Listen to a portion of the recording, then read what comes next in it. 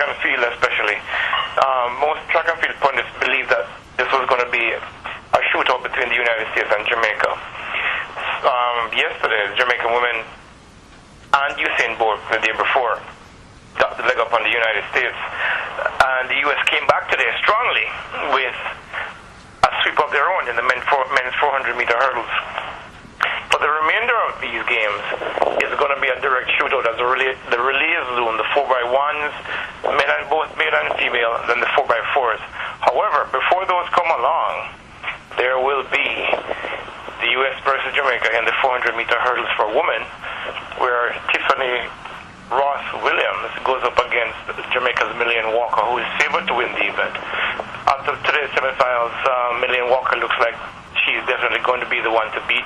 She's very composed, very relaxed, very, very confident.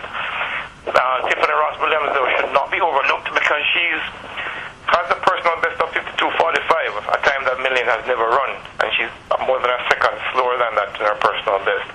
Whatever it is, though, these the remainder of these games are going to be an interesting clash between a country of 2.8 million people and a country of 300 million people. And whatever the outcome,